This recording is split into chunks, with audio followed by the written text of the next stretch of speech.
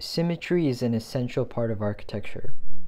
While it is not a particular movement, such as Gothic or mid century modern, symmetry is more of a universal theme that can be found in many different styles of architecture. A symmetrical structure can also be referred to as a static composition, as oftentimes these buildings appear to be at rest or in this sort of fixed position.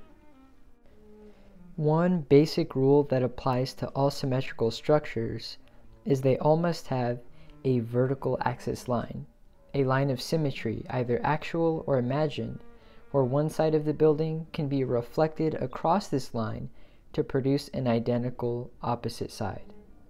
This type of symmetry is commonly referred to as bilateral symmetry. Another form of symmetry in architecture is radial symmetry. A prime example of this can be seen in the dome of the United States Capitol building. No matter which direction you view the dome, it is always perfectly symmetrical from all angles. This is because the radius of the circle in the dome is exactly the same, 360 degrees all the way around. Symmetrical structures often convey the ideas of certainty, power, conviction, and authority. Their uniformity and complete balance produces an orderly sense of beauty.